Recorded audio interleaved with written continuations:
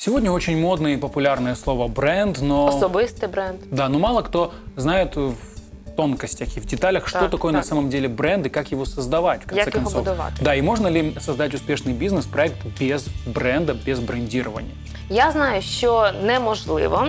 А, Чому? Ну, ты ответила на наш вопрос, можем заканчивать эфир. Так, ні, ні, ні, насправді ні. Тому що я запросила експерта з брендування, який розповість, чому це неможливо, чому це так важливо на сьогоднішній день а, будувати якісно свій власний бренд, особистий бренд, а в тому числі компанії бренд. Це так, це Сергій да. Сергій Глущенко, і ти зможеш з ним поспілкуватися. З радістю пообщаюсь, Сергей. І Глущенко, експерт в темі брендінгу. Закінчив Київський національний університет імені Тараса Шевченка, факультет філології та Лондонську школу бізнесу і фінансів. Спеціальність маркетинг. З 2010 по 2014 роки був першим заступником міністра молоді та спорту України. Має 25-річний досвід управління бізнес-проектами. Проводить тренінги для кооперативних клієнтів, для груп власників бізнесу та персональний коучинг. Експерт з брендінгу, тренер з особистісного зростання і управління бізнесом. Доброе утро, Сергей. Спасибо, что к нам пожаловали. Первый традиционный вопрос. Самое памятное утро в вашей жизни. Доброе утро. Э, И я, понимаете, мог бы, конечно, рассказать про мои тайские утра, или индонезийские, балийские утра, или тосканское утро на невероятной вилле, но расскажу честно, самое удивительное утро пару лет назад. И я себя с супругой вбрасываю в такие испытания. Мы провели недельку в Ворзеле в э, пансионате для очень бедных а, в программе, которая на самом деле э, для отчаянных и смелых людей, для тех, кто хочет выйти за рамки там, зоны Из зоны комфорта комфорта, и да? себя прежнего. Потому что я верю в то, что достигать новых результатов мы можем лишь становясь новыми. А оставаясь прежними, будем обречены на прежние результаты. Одним словом, это была такая трансформационная программа, причем каждый день неожиданный, новый. И я однажды э, должен был разбудить всех, причем комнаты по шесть человек, поверьте мне, не просто жить с э, пятью храпящими мужиками. Но при этом через пару дней это уже друзья и братство. Я должен был разбудить всех звоном колокольчика в 5 утра. В 5 утра. Но для того, чтобы не проспать, я должен был проснуться за 20 минут. А потом, когда разбудил всех, убедился, все встали и пошли на улицу. А это ноябрь, конец ноября, снег. Первый снег. Э, Обливаюсь из ведра ледяной водой, без одежды. Кувыркаюсь в снегу, обтираюсь, захожу, все только продирают очи, а я первый и разбудил всю банду в 50 человек. Самое запоминающееся утро. Потрясающе. Но я думаю, никто нам об этом еще подобном не рассказывал. Ну, вот я на это да. рассчитывал. И, конечно, А заинтересовали. принцип да. брендинга «be different or die» – «отличайся или умри». И вы решили все-таки съездить в Ворзель вместо а, очередной раз Тосканы, чтобы отличаться Были еще возможности, больше. да? поверьте, да, но я выбираю непростые пути. Да. И тогда, становясь новым, добиваешься нового. Да, и мы заговорили о брендинге, и тогда первый, самый простой прямой вопрос, что такое бренд? Вот максимально простым языком для наших зрителей. Окей. Э, Бренд вообще в переводе со староскандинавского «бранде» – это огонь. И для меня это абсолютная суть бренда. Страсть, огонь. Если ты не страстен сам, ты не в состоянии рождать бренды. Ну вот мой 25 с лишним летний опыт в брендинге это подтверждает. А вообще на самом деле сегодня бренд в эпоху сверхпредложения, отсутствия дефицита продуктов или услуг, да? алый океан, сверхконкурентный океан. Это некое облако ощущений, которое у меня и у вас, как у клиента, реципиента сообщения от бренда рождается. И рождает желание обнять и плакать, и никогда не расставаться. Это называется лояльность. Это высшая стадия развития бренда от узнавания к симпатии, к предпочтению и лишь затем к лояльности. Я выбрал мой бренд, и я никогда не изменю ему с любым другим брендом. Это как про любовь, как про отношения мужчины и женщины. То есть бренд это не просто красивый логотип, какое-то глубокое, емкое, хлесткое название, это определенные образы и воспитание внутри себя определенного чувства, что хочу именно этот продукт и эту услугу, правильно? Я практически с этих слов начинаю свои мастер-классы, которые называются «Зачатие бренда». Не зря Это я посетил точно- 22 ваших мастер-класса. Это точно не про логотип и нейм. Это следствие, это одежка. По одежке встречают, да. Но потом предъяви, кто же ты на самом деле такой. Вот я про это, про ядро, суть бренда. Ты кто такой? Хорошо, но все-таки может ли быть проект успешен без бренда? А, Да, есть определенные проекты, предполагающие отсутствие даже торговой марки, производство чего-либо, что в, в вашем единственном монопольном владении, например. Если вы монополист, Ну да. зачем вам бренд? Или если вы работаете в дисконтной а, категории, то есть вы там боретесь с подобными производителями чего-либо лишь по цене. У меня самая дешевая картошка, у меня самая Ну да, дешевая картошка. не Но это обязательно, да, тоска. да, да. Для меня это тоска. Понимаете, мы там боремся только лишь за снижение себестоимости. А снижение себестоимости ну, в продуктовой категории это ведь про ухудшение качества. Ну да. Потому что, по сути, да, мука в булочках или мак в маковых конфетках – это главный ингредиент, а значит, главная статья расходов. То есть, сокращая или ухудшая качество мака, вы можете добиться лучшей, кавычу, цены, чем конкуренты. По сути, более привлекательной, самой дешевой, м, дешевого позиционирования. Я даже не хочу, чтобы меня ассоциировали с такими словами. И вот тогда начинается территория добавленных ценностей.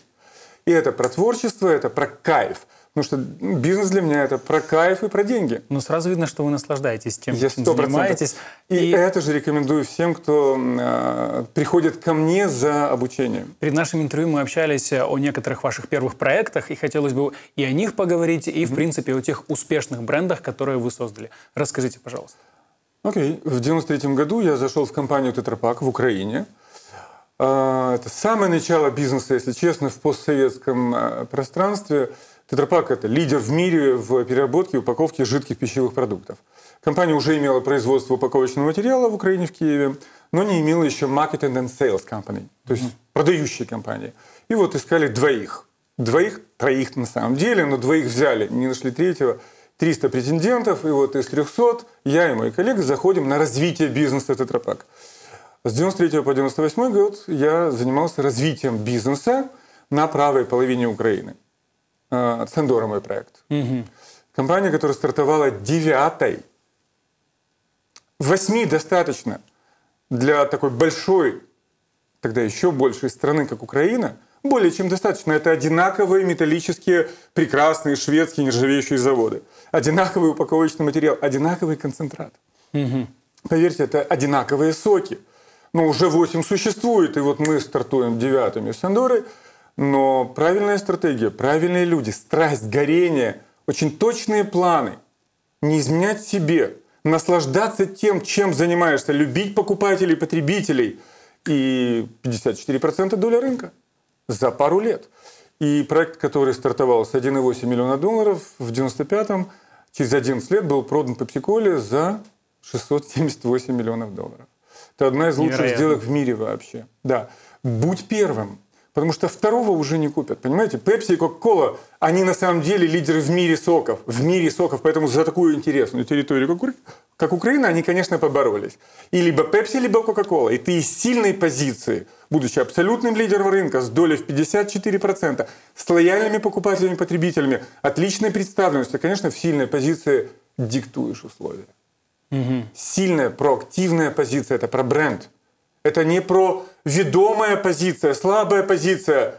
Дай лучше цену. Ну, я попробую. Это точно не про меня. Там нет кайфа и там нет денег.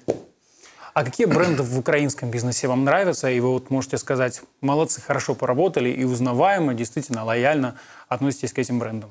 Ну, во-первых, мне очень нравился и нравится до сих пор бренд Фанни, который создал я и мои коллеги.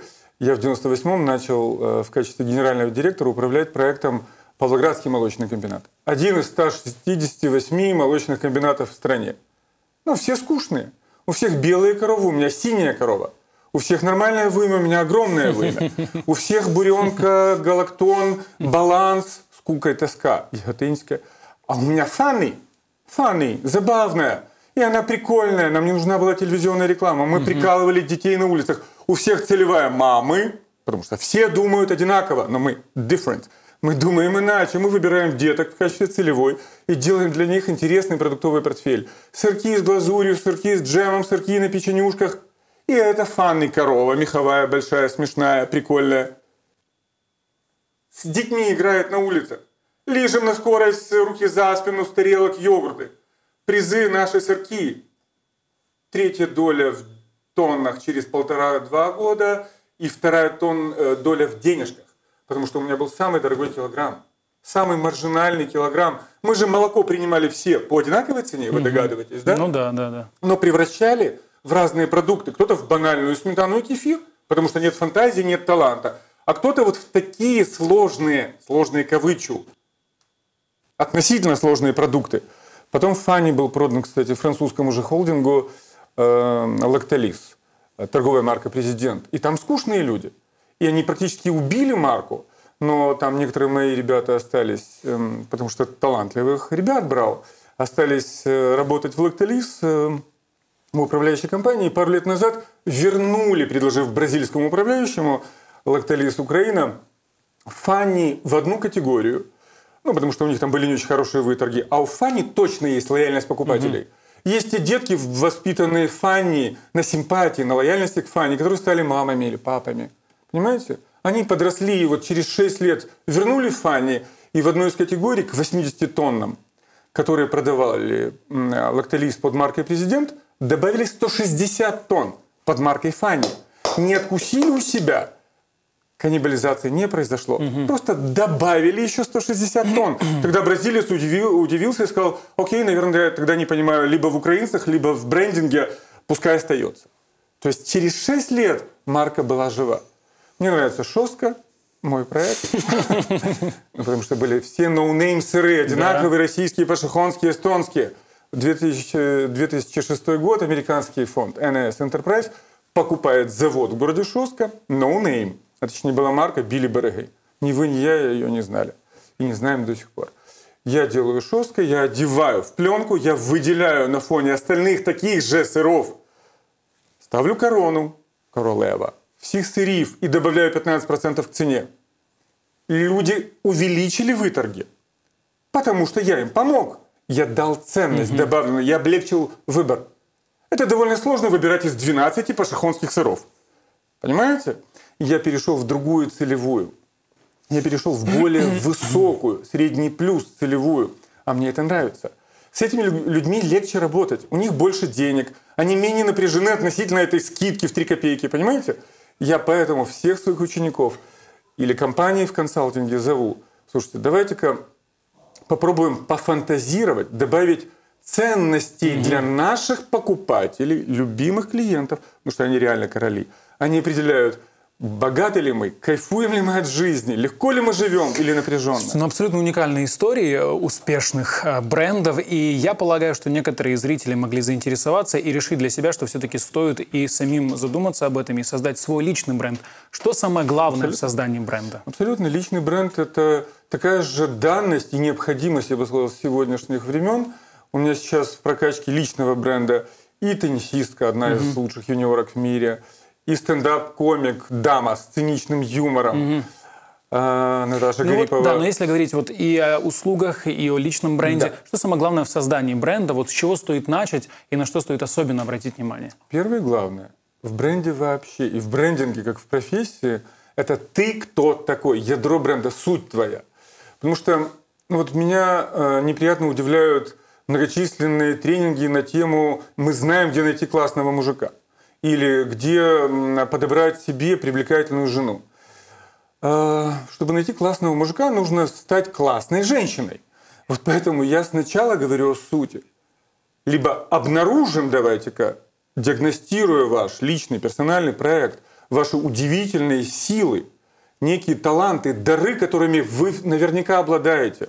Три-пять, не нужно больше, они-то и станут точками опоры личного бренда такие качества, которыми ну, вряд ли обладают ваши конкуренты, и которые возможно прокачивать всю жизнь. Потому что хорошая новость в том, что эти 3-5 сил, э, усиливая до бесконечности, до конца, до последнего вдоха, вы обеспечите себе интересную, насыщенную жизнь. Вы будете точно отличаться от конкурентов, вы будете точно проживать свою жизнь, не подменную, чужую, как мама посоветовала или учительница в школе. Свою, ту, для чего вы рождены на самом деле, потому что у нас у каждого есть предназначение, есть миссия. Я знаю, что у вас и курсы есть зачатие бренда, скорее всего, и об этом вы там говорите. О чем еще поведает нам этот курс? Зачатие бренда – это о сути брендинга, о моем другом подходе к брендингу. Потом, конечно, об упаковке. Конечно, о логотипе. Конечно, о правилах позиционирования и продвижения бренда в соцсетях в том числе. Конечно, в YouTube, конечно, и в Фейсбуке. Но это потом. Но сначала стань кем-то особенным, ценным в глазах твоей целевой. Конечно, много говорим о конкурентах, потому что не понимая внешний мир прямых конкурентов, конкурентов на удаленных рынках, эталонные проекты, на которые Питер Друкер, великий Питер Друкер, советовал смотреть на лучших, делать как они, смотреть на худших, не повторять их ошибки. Конечно, мы, как завещал великий Том Питерс, ставим большую наглую волосатую цель, миссию – Возможно, никогда а, не будет достигнута наша эта самая сверхцель, сверхзадача. Большая, наглая, волосатая цель. Но если даже на 30% в рамках этого вектора, с этой путеводной звездой мы будем двигаться по верному пути, окей, мы достигнем гораздо большего, чем вращаясь как щепка в проруби. А так с 98% людей – они не знают, кто они, они не сориентированы по миссии, по путеводной звезде, по маяку. Вот, и касательно этого, что вы посоветуете нашим зрителям в первую очередь? И здесь не только о брендинге, а в общем о понимании своего места на этой земле. Любить себя, разобраться в себе. Слава Богу, для этого существует масса открытых источников. Слушайте, существует масса книжек хороших, которые я советую читать и на мастер-классах, и в коучинге, в персональном личном коучинге. Вот в том числе разбудить в себе творческий потенциал. Творческий родничок, как я это называю. Мои ученики вместе со мной идут в духовную армию. Это такой кемп, прокачка, такая трансформационная программа. В первую очередь направленная на э, рождение нового себя по всем четырем сферам. Физическое тело, дух, душа и ментальное тело, ум. Делать каждый день определенные вещи для того, чтобы становиться новым. Становясь новым, мы точно достигаем новых результатов. Ну вот, например, книжка Джулии Кэмерон «Путь художника» — это то, что я рекомендую. Она пока еще есть в бумажном варианте в продаже. Срочно покупать, срочно mm-hmm. смотреть, что советует Джулия, жена Кэмерона. Она сама создала этот курс 20 с лишним лет назад, будучи в творческом кризисе как писатель, сценарист. И он годится для всех, для бизнесмена в первую очередь, потому что бизнес – это про творчество. Угу. Это про нахождение новых путей, неординарных решений. Про кайф от каждого дня. Спасибо большое за ваши советы. Я думаю, что наслаждение от каждого дня – это действительно та цель, которую должны мы перед собой все ставить. Я лично получил наслаждение от общения с вами. Спасибо за эту увлекательную, познавательную, глубокую беседу. А, благодарен вам, и я надеюсь, благодарны все наши зрители. Я благодарен вам за приглашение, за возможность еще больше рассеять света, потому что это моя миссия. Спасибо большое, у вас это хорошо получается. Здорово. Благодарю вас.